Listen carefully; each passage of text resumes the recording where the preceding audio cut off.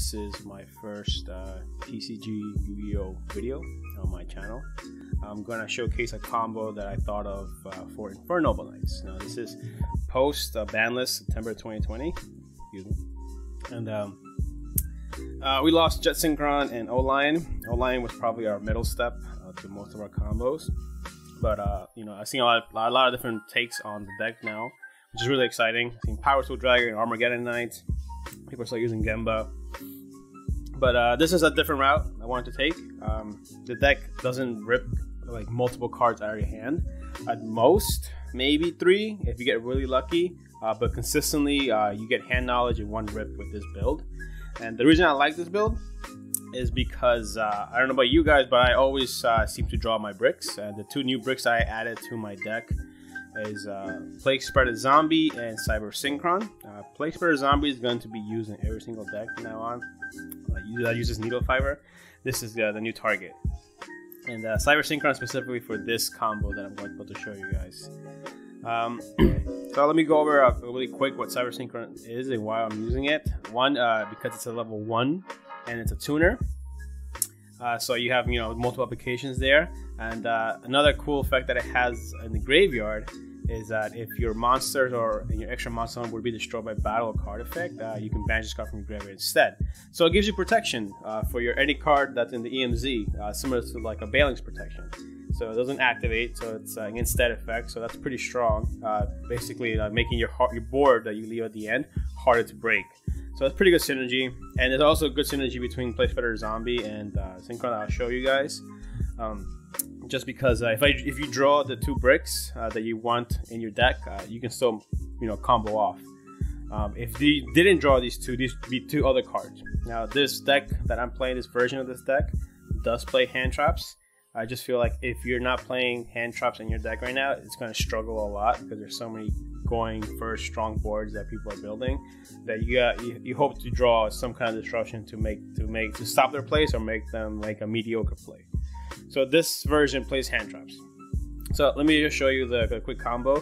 The combo will consist of using Ogier and uh, Durendal.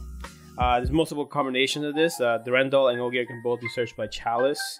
Uh, also, if you open up Ogier and Renaud, same combo, it's a little different. I might make a different video for that one. But it's a pretty easy combo. Uh, it's very similar to the OCG original one. Uh, I actually took a lot of inspiration from that and I'll show you guys. Uh, I mean, I'll link it down below. Uh, the the original combo from Road of the King. I think uh, Lithium had it on his channel. All right, so let me show you really quick as I get to it. So first thing you're gonna do is you're gonna summon Ogier. You're gonna activate the effect, and you're gonna go ahead and send Gearfried. Uh, this whole point of this deck is to get Gearfried out as soon as possible because we lost our first, um, you know, our negate before Hulk. So this is this is the the, the the replacement. So you're gonna use Durendal uh, to uh, pop itself, and you're gonna go ahead and search Renaud. I'm pretty sure I'm butchering that name, but it's okay. All right, so then you're gonna go ahead and summon Renaud, and you're going to add Gearfried, and now you're gonna go ahead and link off into Isolde. Uh, you're gonna use the first effect of Isolde to search whatever you want. I like to search uh, Space Connector just because it gives me a uh, uh, you know a third third round play. I mean, a third turn play in case my board does get broken. Gives me two bodies on the board. That allows me to link summon. Uh, so that's why I like to search connector. But you can search whatever you want. Now, if you're playing against a good player, they'll wait for you to use a second effect that dumps to negate it. Uh, because if someone Valors you at this point, or somebody uh, imperms you at this point where you can't add. If you have any other extender, you can go into a sec- your second Isolde. Uh, most Infernoble Knight decks that list that I'm seeing play two. So you would uh, go to your second and use the second effect. So, but most players would have, good players at least, would wait until you use the second effect to try to hand trap. But with this version, that'll be too late. Uh, so you're gonna go ahead and use uh, Gearfried effect to summon itself by banishing one spell, making equip spell, and then you're gonna equip it with Ogier. Uh, now the equip effect it makes uh, will give uh, Gearfried a negate. It turns it live and it also protects it from destruction from card effects. So now you're gonna go ahead and use uh, Isolde you send one, two, three, four equip spells uh, from your deck, and you actually gonna summon Oliver from deck. Now, why? Because Oliver's a tuner into level four. Uh, it gives us easy access to dump uh, Roland into the grave super quick. And uh, I don't like running Gemba. Gemba's a, a, brick, in my opinion. Doesn't do anything in your hand. Um, But uh, if you draw Oliver uh, in your hand, I'll play two copies, but I might bump it up to three, honestly. Uh, it's an extender, assuming that you have a way to uh, activate the effect in hand. Um, so, in my opinion, it's just better to run uh, multiple copies of this one versus Gunpowder that doesn't do anything. Okay, so you're gonna go ahead and um, summon Linkross, everyone's uh, favorite card right now, and uh, you're gonna summon two level one tokens on the field. Uh, these a token markers here are going to be for uh, the levels. So if anyone's seeing can follow and they can see it's a level one token here. All right, so you need level four, level one. You're gonna go into Roland, like I mentioned before. You're gonna use Roland effect. Don't forget to uh, resolve at the end phase. You're gonna use these two because Roland's a tuner. You can go straight into Hawk, uh, Halqifibrax or Needle Fiber, whatever you guys want to call it. Uh, now, typically you want to summon this from your deck, but because you drew it, uh, this does let you summon from your hand. So you're gonna go ahead and use that, and you're gonna go ahead and link, uh, I mean, uh, synchro into a Metal Marcher. Uh, this card is gonna get banned next next uh, next list for sure, unless they ban this one, which I highly doubt. Uh, okay, so you're gonna go ahead and use Metal Marcher effect, which is summon any tuner from your graveyard in defense mode and again its effects, uh, and you can summon back Roland, which is level 5. So, I think you can see where I'm going with this. Uh, Hulk is a machine, Link to machine, and then Metal March is a machine, which gives you perfect materials for your Aurora Auroradon, which uh, gives you three zones here, and you can summon uh, three tokens that are all level 3. And because a level 5 tuner and a level 3 monster, you can go ahead and synchro into an easy savage. Uh, now you're gonna go ahead and equip uh, Hulk from the graveyard. You want to leave um, Isolde in the graveyard because we're gonna need that for the Phoenix Blade. So you're gonna go ahead and give it two negates, uh, one per turn, obviously. And now you're gonna banish two warriors. Uh, you wanna leave uh, Oliver and uh, Roland if you absolutely have to, you can get rid of Roll, uh, Olivier, but you want to leave Roland in the graveyard because this gives you your pop or your Charles. So now you're gonna go ahead and add the Phoenix Blade back to your hand, and now here, uh, there's two very two different things you can do.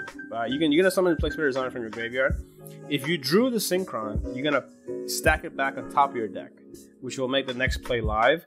If you didn't draw your Synchron, it's something else like another hand trap or you know another extender uh, you're gonna send back Phoenix Blade, uh, which therefore you can send uh, with Roland at the end phase to search a warrior.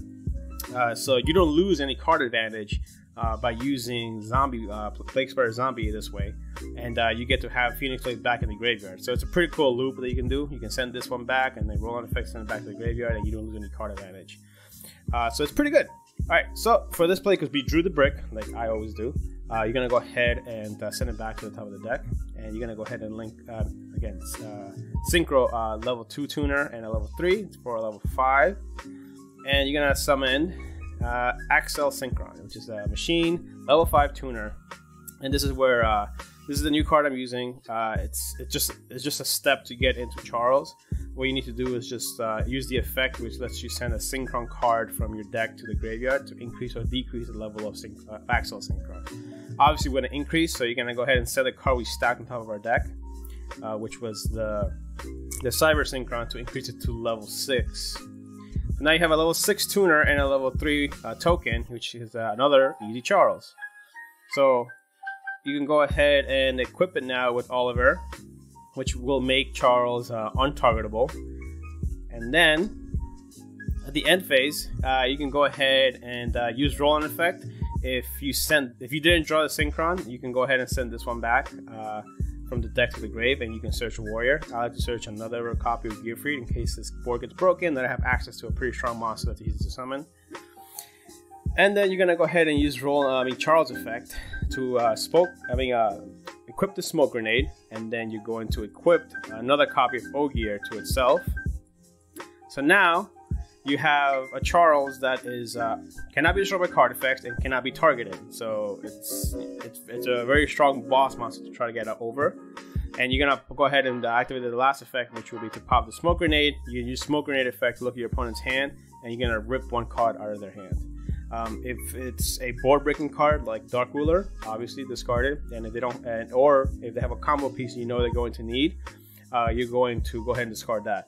Um, this version of the deck just rips one card up, but the, uh, this version of the deck tries to put out a board out consistently as possible, um, and really just takes advantage of smoke grenade for the hand knowledge, right? Because you rip one card out, you know they have four cards in hand, and whatever they whatever they're gonna draw next turn, so you can time your your negate properly. You know, this way they it's, it's very hard for them to break the board, right? And you know, it's it's because we didn't use Auroradon effect, right? Um, it it would get kind of crazy because if you opened up like a Gearfried and you don't need to search it, and you have a Renaud and an extender, if you don't use Renaud effect, you can use Renaud effect before end phase to add back the smoke grenade to your hand, equip it to the uh, to whatever to the Auroradon, and then use Auroradon effect to pop the Renaud, and then use the smoke grenade effect, uh, and then use the Auroradon effect to uh, pop your smoke grenade, and you get to go ahead and rip two cards out of the hands very situational, but it does happen sometimes. So this is the typical end board. You can bring this board out pretty consistently, uh, as long as you open the two card combos, or a way to get to Ogier uh, plus uh, Durendal, or a way to get to Ogier plus Renaud. Uh, the Isolde combo, of just two warriors, like a, if you open up just Space Connector and nothing else, no extenders, uh, you can still end on this board minus the Gearfried. So it's still a pretty strong board and gives you a lot of card advantage because you still have four cards in your hand and uh, you have all this on the field. So if your opponent is able to break your field um, with their hand, uh, most of the time they'll waste so many resources trying to break your board um, that by the time it's your turn, they're gonna have either a very very subpar board with no negates, or maybe one negate, but you already have follow up. You you know you search two cards from your deck, and you're gonna draw a card. So you're gonna you're gonna start turn three with five cards in your hand which is insane. And um, don't forget, you have Cyber Synchron to protect the Auroradon from destruction in battle. So if they try to run over it or they try to pop it somehow, all you need to do is just banish this from your graveyard instead, like Balings, and you have a protection. So most of the time, when they break the board, they can't get rid of this because they already wasted so many resources trying to get rid of these monsters.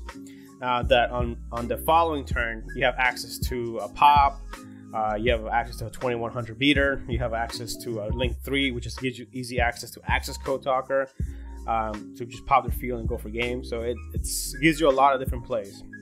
Uh, like I said, this is my personal build. I'm going to be playing around with it a little bit more. Um, this is just to show anyone who wants to play Infernoble Knights with this uh, September post September ban list uh, a, a, chance. This would be uh, a good starting point, I feel. So leave a like. This is my first video. Leave a comment on what you think would be uh, better choices. If you liked the combo, if you didn't like the combo, uh, criticisms. I'm open to all of that. And um, if you guys want me to post a uh, deck profile, uh, let me know. Um, I don't, you know, let me know. And one person or two people, and that's all I need to put my deck profile. Uh, anyways, uh, thank you for spending the time to watch the video, and uh, peace.